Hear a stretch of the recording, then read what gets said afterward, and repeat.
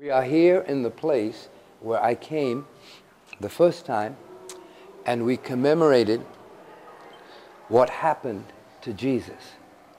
And this was the place that the anointing came down so strong. And so I really wanted to teach you this particular segment right here in this place.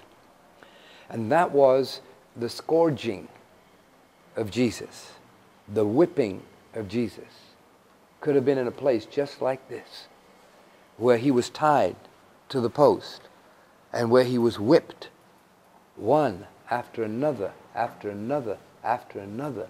If you've ever seen the film Passion, how many of you ever seen that? You know how serious that whipping was. It says in John 19, verse 1 So then Pilate took Jesus and scourged, flogged, whipped him. And the soldiers, having twisted together a crown of thorns, put it on his head and threw a purple cloak around him. And they kept coming to him and saying, Hail, King of the Jews. And they struck him with the palms of their hands. The reason for us, the scourging, is so important. As we go into the next scripture, you'll find out. Matthew 8:17. The Lord took me to Matthew 8:17, connected to the scourging. And thus Jesus fulfilled what was spoken by the prophet Isaiah. He himself took in order to carry away our weaknesses, our infirmities, and bore away our diseases. That was the purpose, my friends, of the scourging. So I decided to go right to Isaiah and find out what happened. So I went to Isaiah 53. And in Isaiah 53, here's what I found out. He, Jesus, was despised and rejected and forsaken by men. We know that. A man of sorrows and pains, and acquainted with grief and sickness, and like one from whom men hide their faces, he was despised, and we did not appreciate his worth or have any esteem for him. Surely he has borne our griefs, our sicknesses. Surely he has borne our weaknesses and our diseases. And surely he has carried our sorrows and our pains of punishment. Yet we ignorantly consider him stricken, smitten, and afflicted by God as if with leprosy. But he was wounded for our transgressions, he was bruised for our guilt and iniquities. The chastisement, the needful to obtain peace, and the well being for us was upon him. And with those stripes that he bore on his body in a place like this, we are healed and made whole. I said, Lord, I said, Lord, why? Why? Why would you do this? Why would you do this for us? And he too took me to a scripture that is not connected to this verse, but it should be. In Hebrews chapter 12, verse 2. Why did he do this? Why did he endure those stripes? Why did he carry every sickness and every disease? Why? The Bible says, looking away. What was he looking away from? He was looking away from the post. He was looking away from the whip. He was looking away from the stones. He was looking away from the blood that was gushing from his body. He was looking away from every pain that he had to bear, every blow that came on him. He was looking away from what was happening in his body, from all that will distract, looking away. Jesus, who is the leader and the source of our faith, He's the author and the finisher. For he, and this is my point today, for he, for the joy of obtaining the prize that was set before him, endured the cross, despising and ignoring the shame, is now seated at the right hand of the Father. He didn't look at his circumstance. He didn't look at the whipping. He didn't look at the thorns.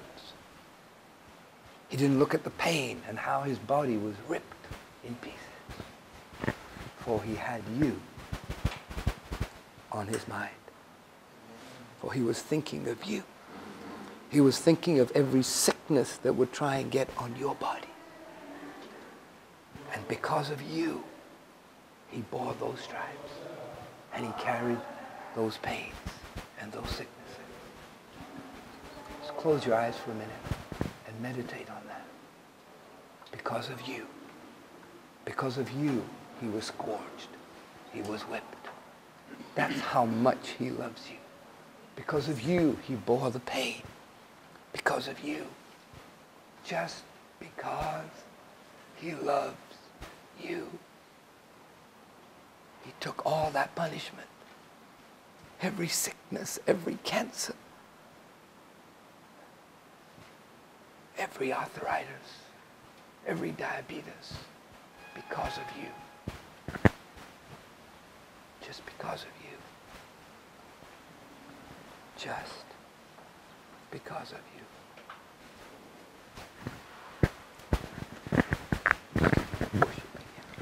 We worship you, Almighty God. There is none like you. No one like you, my Lord. No We worship you, my Prince of Peace. That is what I long to do. We give you praise,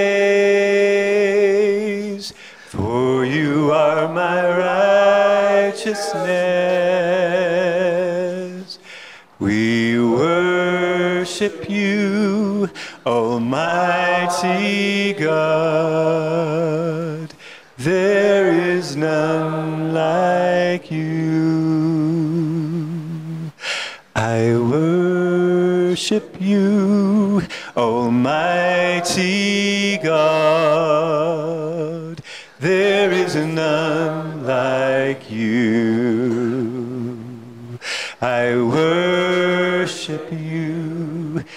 my Prince of Peace. That is what I long to do. I give you praise, for you are my righteousness. I worship you, Almighty God. None like you. He saw me. He saw me. He saw me in that hospital bed with my head deformed, temperature 107.6. He saw me, and that's what he was looking at. He saw you when the sickness tried to get on your body. He saw you. That's what he was looking at when they whipped him, when they scourged him. It was you he saw. It was you he saw. Sing it again. Thank you, Lord. I worship you, Almighty God. There is none like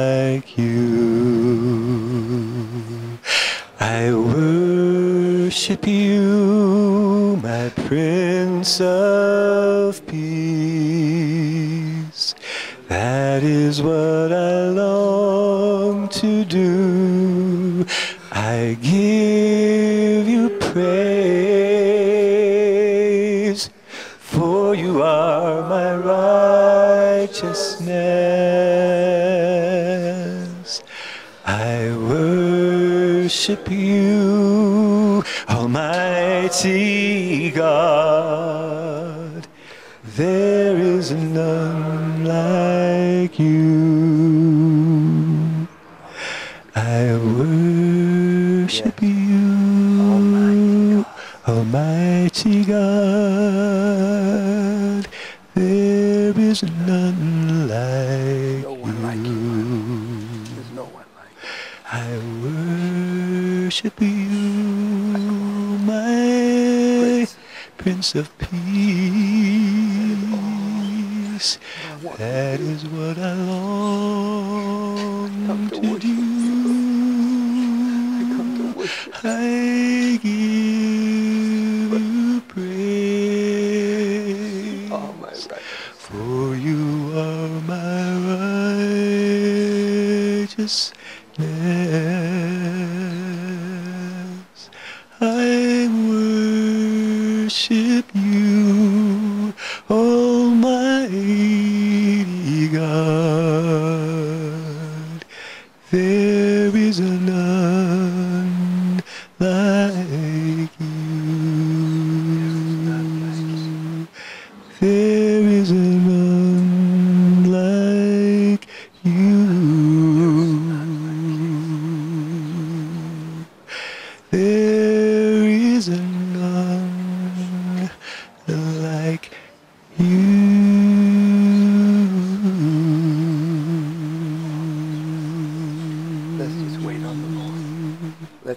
Speak now.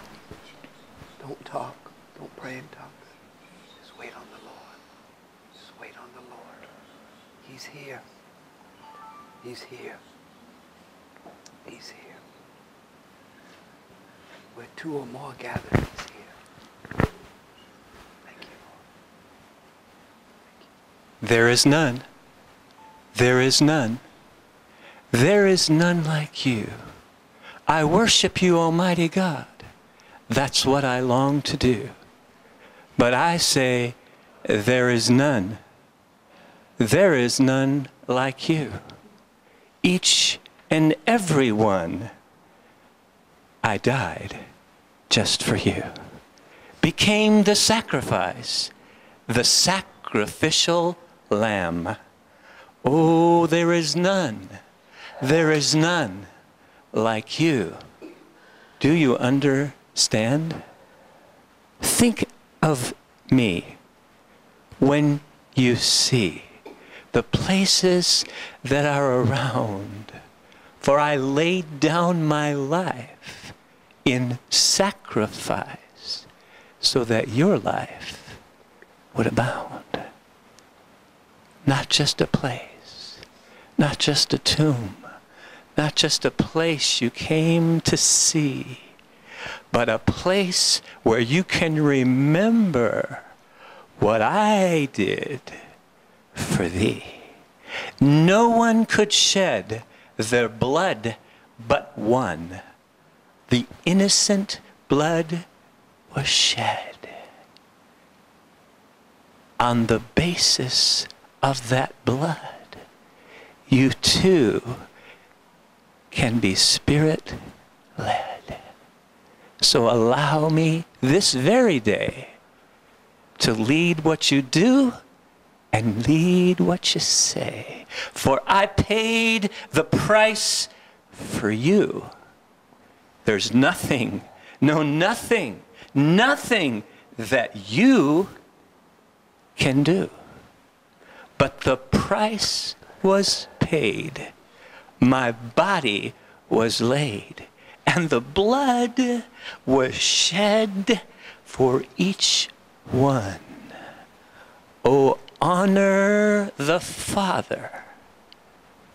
Honor me this day.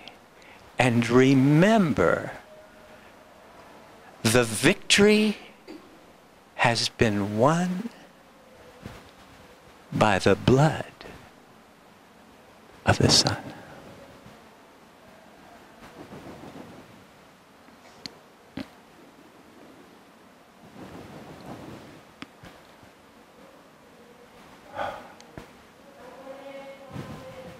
And remember, remember this moment for the rest of your life, remember that the devil cannot win with strife.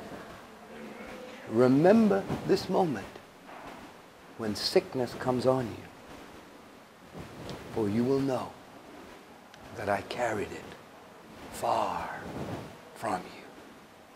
Don't accept it. Don't receive it. It is not from me. For don't you know, this very day, I have set you free. Thank you.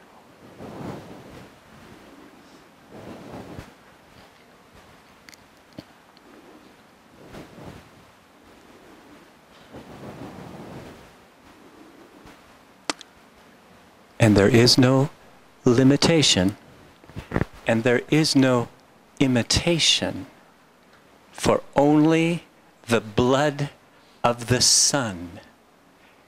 Remember this place. Remember my grace. For it was here that the victory was won. Thank you. Thank you. Just lift your hands and start to thank him for all that he did. I thank you. I thank you, Lord. I thank you, Lord. Thank him for when he healed you. Thank him for when he delivered you. Thank him for every stripe that he bore in a place like this. Thank him for his love for you. Thank him for every sickness he carried away. Thank him because he did it for you. Thank you, Lord. Thank you, Lord. Thank you, Lord. Thank you. We worship you. Praise you. Glorify you. We honor you, my Lord. We honor you, my Lord. We honor you, my Lord. We honor you, my Lord. Thank you, Lord. I can't help but get emotional when I think at the moment the whip hit him, he was looking at me in that hospital room.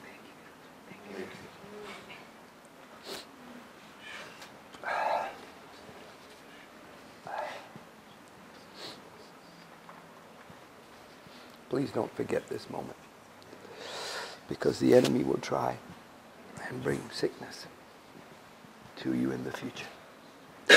Don't forget that you were there. You were there. You were there. When every sickness and every disease Yes. was taken. Every. None left. Every sickness. So don't allow the enemy to stop you finishing your race. Amen.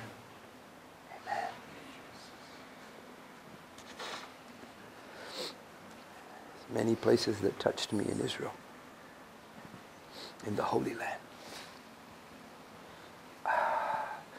But this was one of the most special. And I couldn't bring you here and not bring you to this place. Because from this place, you will remember for the rest of your life. You were there in that place where every sickness was taken. Amen. God is so awesome. You know, the anointing is all over this place. You know that. The presence of God is here. I wish we could spend the whole day here just worshiping Him because the presence is here. We have some things we have to go and see. Thank you. I really sense this in my heart. Thank you for coming. You made this whole trip special for me. Thank you. Last time I was here, so bad I wanted to share all this, but it was the wrong people. They could not receive this, but you can. You know how to worship Him. You know how to get into His presence. This was gems that God saved for us on this trip. None of you are here by chance. God ordained it from the beginning of time that you would be sitting on this seat right now on this day. Amen. Please meditate on this as we travel the rest of this day. I don't believe that God is yet finished. There's more to come.